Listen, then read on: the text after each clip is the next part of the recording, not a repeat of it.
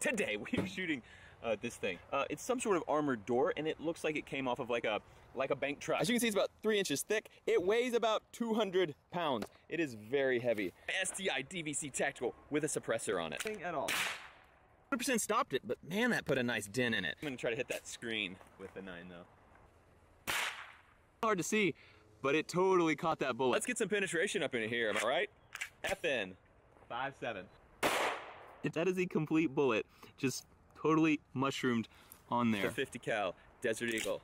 Uh, he poked a hole through the outside of the door and did a small bulge on the back right there. Think of a movie where someone is holding up a bank truck, like they're gonna be doing it with an AK-47. Pretty nice hole you got there.